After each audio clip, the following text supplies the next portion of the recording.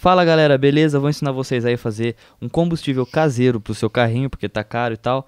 É, a base eu usei do RC Nitro Brasil, que é boa, só que eu acho que o motor dele é 18 ou 21, eu não me lembro, e pro meu ficou ruim demais a mistura, falhou, então eu dei uma mudada. Mas é esse vídeo que eu tô mostrando aí pra vocês. E eu só dei uma mudada aí no, no na quantidade das coisas, ficou bom. É, a única coisa que aconteceu é que eu estou mostrando aí o que você vai precisar, que eu, é eu vou deixar aí na tela. Mas enfim, a única coisa que está acontecendo ainda, na verdade, que eu acho que é o, aí já é a configuração de transmissão, porque o meu carrinho ficou um ano parado. Ele não engata a terceira, ele chega na segunda, ele meio que corta quase o giro assim e não, não é, e não engata a terceira marcha. É uma Mad Force. É, mas assim, a única mas o combustível rodou perfeito, já faz aí um mês e pouco que eu tô usando. Não tô usando forte, né, porque como tá engatando terceira, não dá pra eu andar esticando. O que você vai precisar aí é 200 ml de óleo de rícino e 50 de kart. Aí no papel tá 40, não sei, desculpa a letra de bosta, mas é 50 ml que eu tô usando. Que eu achei que ficou melhor o óleo de kart. Aí aí tá ela andando, ó, pode ver que ela não falha nada. Eu nem, nem tá precisando engatar a terceira, por isso que eu tô, eu tô andando na pistinha aí. É, ela tá andando tranquilo aí, em, em, tô andando em baixa velocidade, para não precisar engatar a terceira, como eu disse, tá com problema. Mas e se alguém souber aí, por favor, me ajuda, né? O que pode ser, como regula isso, porque eu não consegui achar no fórum. E, enfim, pode ver, ó, ela tá andando certinho, o carburador dá trabalho para regular, o carburador deu bastante trabalho, mas agora também ela tá trabalhando aí na faixa dos 110, 90, 90 a 110 graus aí tranquilo. Então vamos lá. Você vai pegar o óleo de rícino. E eu tô usando aí a seringa, porque eu tô usando só o que eu tenho em casa. Eu não comprei medidor, nada.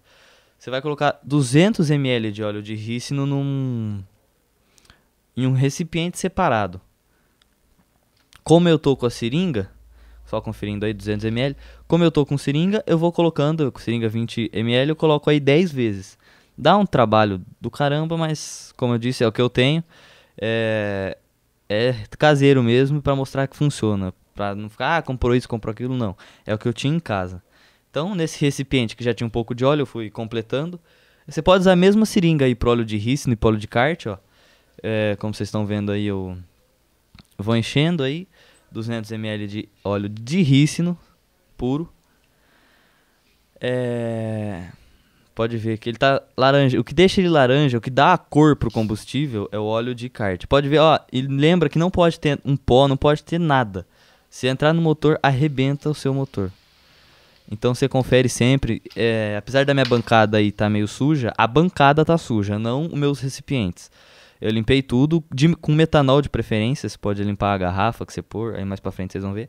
Aí depois vocês vão pegar aí 50ml de óleo de kart, tranquilo.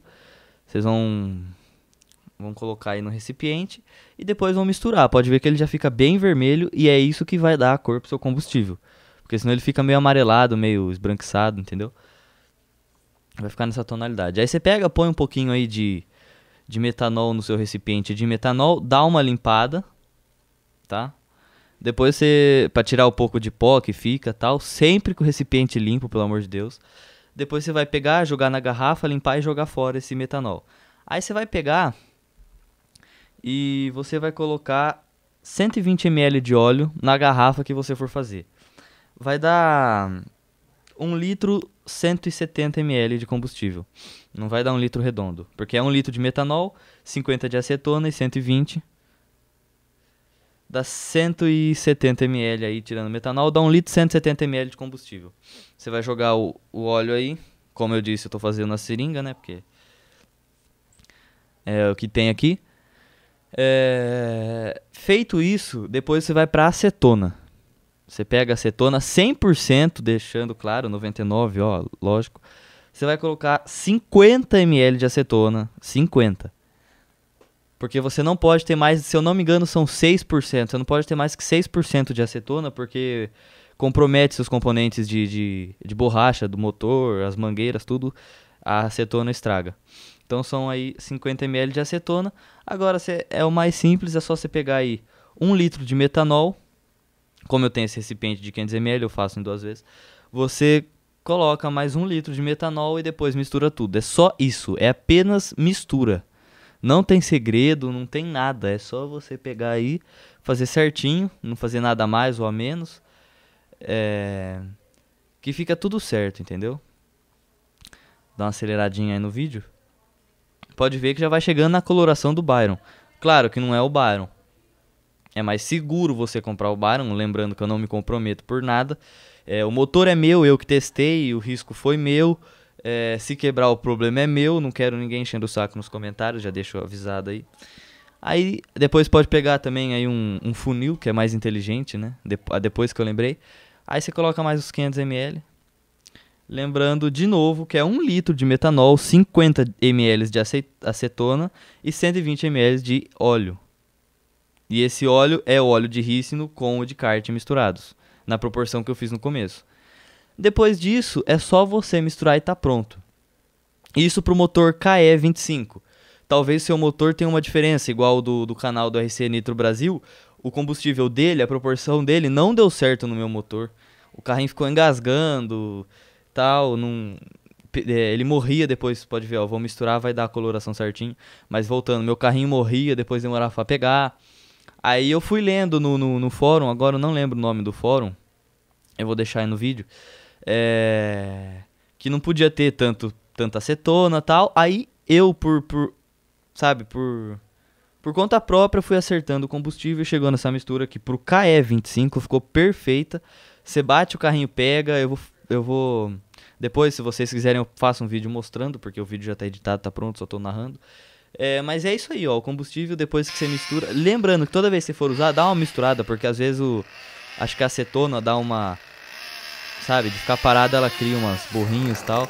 Se você misturando de novo, chacoalhando, ela já volta ao normal.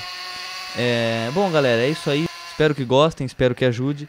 É, lembrando que a conta e risco é de vocês, assim como foi minha depois que eu vi o vídeo do RC Nitro Brasil. É... Comigo deu certo, espero que com vocês também. Estou usando aí dois meses, meu motor não fundiu, não aconteceu nada, como falam. É, é um KE25, se quebrar é caro, mas enfim, como eu disse, não quero mimimi, porque o motor é meu, quem vai pagar sou eu, não é problema de ninguém, é meu. E comigo deu certo, o risco valeu a pena, gastei aí 120 reais, aqui na cidade está 220 um galão de Byron. Pra mim compensou, e fora que eu fiz 6, 6 litros e pouco de combustível. É, é que eu faço de 2 em 2 litros, aqui eu fiz um e pouco para mostrar pra vocês. Mas deu 6 litros de combustível e ficou certinho. Espero que gostem, se inscreve no canal, deixa seu like, divulga. E se tiver alguma dúvida, deixa no comentário que eu respondo. Beleza? Valeu!